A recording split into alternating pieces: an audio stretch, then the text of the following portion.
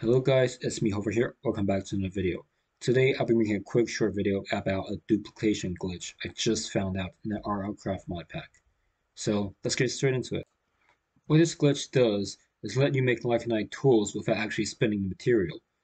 I'll demonstrate right now. So what you need is an equipment forge, a hopper, and a furnace. And first remove the hopper. Put the materials that you need to make a tool inside.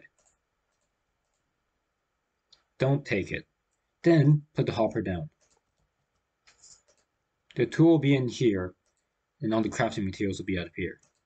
So you can take it out, take it all out, and you can see it's not just a visual glitch. You actually have all the items.